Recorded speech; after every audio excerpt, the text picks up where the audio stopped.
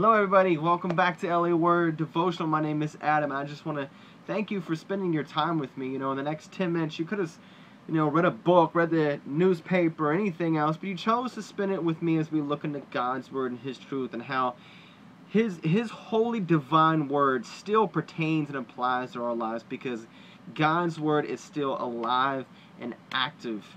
It's Hebrews 4.12, and this is what LA stand for. It's living and active. It's what it's based on, the devotional is based on. Today, if you notice, it's uh, it's titled Mirror, Mirror. And uh, I want to start off with that just for some fact that, you know, a lot of times when you get ready for school, work, or out on a date, or whatever it may be, you know, you look at yourself. You're like, ah, dude, has my hair right? Is my face? Is my, is my makeup? You know, does the shirt look good? You know, whatever it may be, right?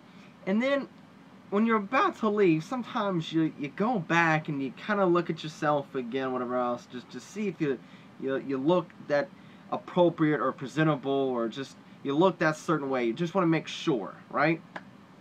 Well, it kind of reminds me when I was thinking about looking at the mirror yesterday. You know, God brought me to this passage a couple days ago, and I've just been kind of hashing over it, just kind of looking over and so forth. And I will look in the book of James. This is the brother of Jesus. And we're going to be looking at James chapter 1, 22 through 25. And then we're going to be looking at the Gospel of John. If we have time, we'll be looking at the Gospel of Luke. That they all pertain together. And if you will, follow along with me. It's in James chapter 1, verses 22 through 25. It says, Do not merely listen to the word. The word means talking about the scriptures, God's holy word do not merely listen to the word and so deceive yourselves. Do what it says. It's very simplistic. It's a, it's a commandment here. Anyone who listens to the word but does not do what it says is like a man who looks at his face in a mirror and after looking at himself goes away and immediately forgets what he looks like. I think that's pretty much self-explanatory. So, you know, a lot of times you can actually kind of categorize this. James could be speaking to those of you all that are categorized as Sunday Christians. And that, that you know, that might be harsh. The reality is, there's so many of us, that so many people that we know, and some of us might even be living like this now. We go Sunday, we maybe go Wednesday, we might hear somebody, but we don't do God's Word. We hear it, it goes in one ear and out the other, and we don't apply it or do what God has us to do. Okay? So James is speaking directly to us. This is a powerful truth. I mean, this is no, no light issue here. He says, anyone who listens to the word but does not do what it says is like a man looks at his face in a mirror and after looking at himself goes away and immediately forgets what he looks like. But, verse 25, I like that word, but the man who looks intently into the perfect law that gives freedom and continues to do this, not forgetting what he has heard, but doing it, he will be blessed in what he does. Now, I want you to go back. You can do this afterwards, and I want you to count how many times the word is mentioned of, of looks, or you know, whatever your version is, uh, looks, or intents, or stares, or glances, or, you know, uh, but all of those words is a different meaning to what verse 25. Verse 25 says, but the man who looks intently, okay? all the other words and all the other passages basically meant to, to stare, to glance, to, to turn back and say, ooh, you know, like, like a mirror, you know, what do I look like? Verse 25, it says, But the man who looks intently into the perfect law, perfect law that gives freedom and continues to do this, not forgetting what it has heard, but doing it, it will be blessed in what he does. Okay, that perfect law is God's word. It's the scriptures itself, because it's a mirror of reflection of our own heart. Okay?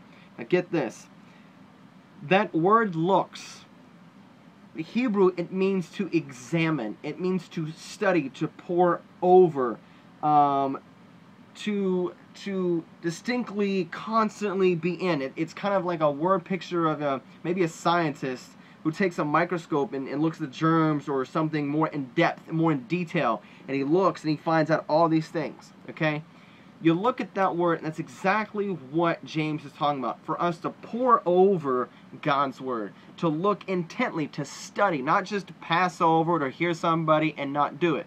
It's the same connotation, it's the same implication when you look in the Gospel of John, chapter 20, uh, verse 5. It says, um, talking about Peter when they ran to the tomb. He bent over and looked in at the strips of linen lying there, but did not go in.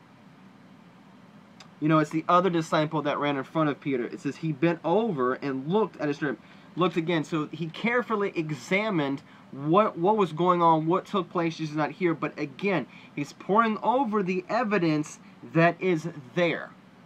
He's poring over the evidence. He's, he's examining the room, what's going on. And that's exactly the implication that needs to happen in our lives. That we need to pore over God's word. We need to study. We need to examine God's scriptures. Not just be hearers, but to be doers of God's word. Why? Because one of the things is to be obedient, but the, the most important thing is that He blesses us. Now I could do a I could do a whole week on, on, on specific blessings. But to simplify it, it's physical and spiritual blessings that God pours out when we're obedient to Him. And then if you look into the Gospel of Luke, chapter 6, verse 46 through 49, it says this Why do you call me Lord, Lord, and do not do what I say? So, so many, so many people, they say, oh, yeah, yeah, yeah, I'm a follower of Christ, I'm a Christian but yet they don't abide nor do what Christ has asked us to do. So Jesus is asking the people he's speaking to, he says, Why do you call me Lord? Why do you call me Lord, Lord, and do not do what I say? So you claim to this, but and in essence, you, you just listen like you don't do what I've asked. You don't know me. And then he goes on and he says, to, to further this, to simplify this even more, he goes like this. Verse 47 I will show you what he is like who comes to me and hears my words and puts them into practice. He is like a man building a house who dug deep, deep, dug deep. Do you get this? Dug deep and laid the foundation on rock. When a flood came, the torrent struck the house but could not shake it because it was well built. Couldn't couldn't shake it.